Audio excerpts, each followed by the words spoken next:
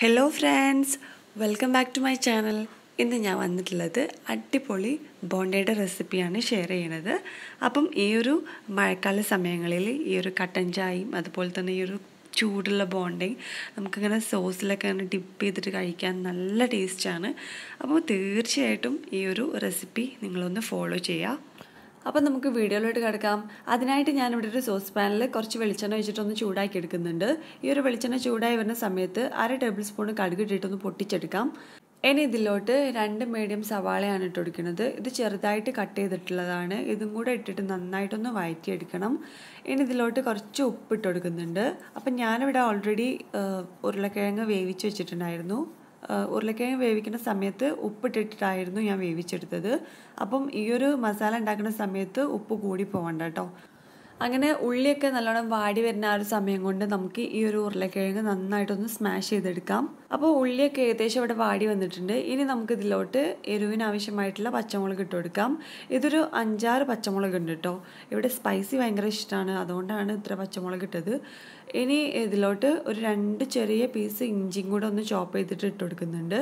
പിന്നെ ഇതിലോട്ട് കുറച്ച് കറി ലീവ്സും കൂടെ ഇട്ട് കൊടുക്കുന്നുണ്ട്. ചെറുതായിട്ട് കട്ട് ചെയ്തിട്ട് വേണം ഇട്ട് കൊടുക്കാൻ എന്നിട്ട് ഇത് നന്നായിട്ടൊന്ന് വീണ്ടും വഴറ്റിയെടുക്കണം ഇനി ഇതിലോട്ട് ഒരു കാൽ ടീസ്പൂൺ മഞ്ഞൾപ്പൊടിയും കൂടെ ഇട്ടെടുക്കുന്നുണ്ട്.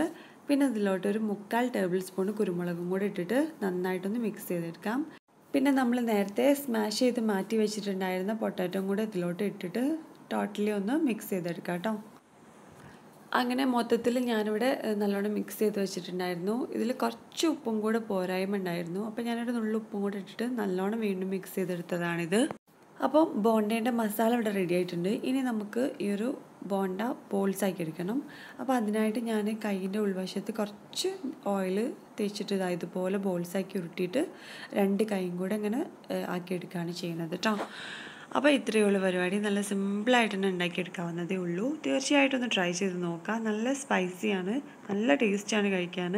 അപ്പം സ്പൈസി ഇഷ്ടപ്പെടുന്നവർക്ക് ഡെഡിക്കേറ്റ് ചെയ്യാണ് ഞാൻ അത്രയ്ക്കും ടേസ്റ്റാണ് ഈ ഒരു മഴക്കാല സമയങ്ങളിലൊക്കെ കട്ടൻ ചായയുടെ കൂടെയൊക്കെ അടിപൊളി കോമ്പിനേഷനാണ് കേട്ടോ ഇത് സോസും കൂട്ടി കഴിക്കുകയാണെങ്കിൽ നല്ലൊരു ടേസ്റ്റ് തന്നെയാണ് കേട്ടോ അപ്പോൾ തീർച്ചയായിട്ടും ഒന്ന് ട്രൈ ചെയ്ത് നോക്കാം.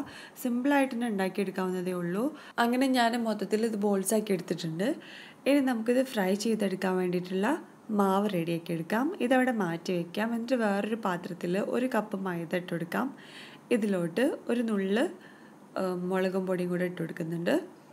ഇനി ഇതിലോട്ട് ആവശ്യത്തിനുള്ള ഉപ്പും കൂടെ ഇട്ട് കൊടുക്കാം.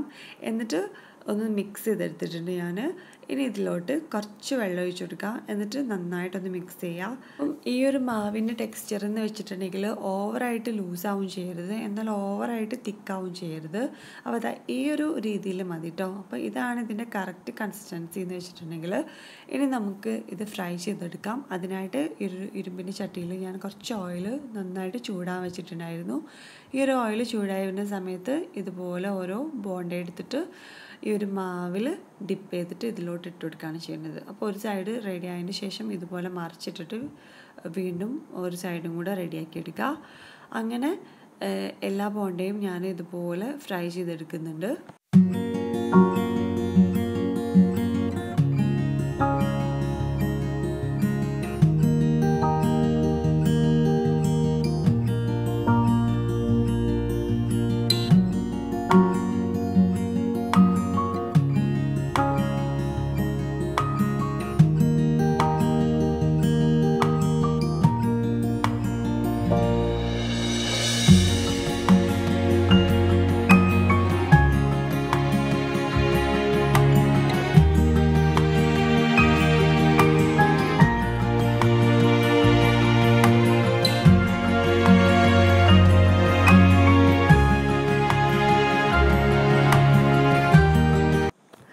അപ്പോൾ ഇതാ നല്ല ചൂടോട് കൂടിയിട്ടുള്ള ബോണ്ടയും അതുപോലെ തന്നെ നല്ല കട്ടൻ ചായയും ഇവിടെ റെഡിയാണ് അപ്പോൾ ഇതാ അടിപൊളി ടേസ്റ്റാണ് കേട്ടോ ഈ ഒരു കട്ടൻ ചായയും ഈ ഒരു ബോണ്ടയും അടിപൊളി കോമ്പിനേഷനാണ് നല്ല ടേസ്റ്റാണ് ഈ ഒരു ബോണ്ട തിന്നിട്ട് നമ്മൾ കട്ടൻ ചായ കുടിക്കുന്ന സമയത്ത്.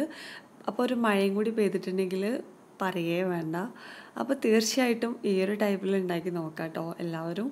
നല്ല ടേസ്റ്റാണ് അതുപോലെ തന്നെ നല്ല സിമ്പിളാണ് കുറച്ച് ടൈം മാത്രം ഒന്ന് സ്പെൻഡ് ചെയ്തിട്ട് ഉണ്ടാക്കിയെടുക്കാവുന്നതേ ഉള്ളൂ.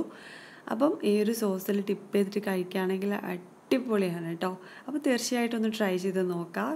ഇഷ്ടപ്പെട്ടിട്ടുണ്ടെങ്കിൽ ഫീഡ്ബാക്ക് കമന്റ് വഴി അറിയിക്കുക അതുപോലെ തന്നെ എന്റെ ഈ ഒരു ചാനൽ ഇതുവരെ സബ്സ്ക്രൈബ് ചെയ്യാതെ കാണുന്നവരൊന്ന് സബ്സ്ക്രൈബ് ചെയ്യുക അതുപോലെ തന്നെ സപ്പോർട്ട് ചെയ്യുക അപ്പോൾ തീർച്ചയായിട്ടും വീണ്ടും ഒരു പുതിയ വീഡിയോ ആയി വരുന്നത് വരെ ഇൻഷാല്ല ടേക്ക് കെയർ ബൈ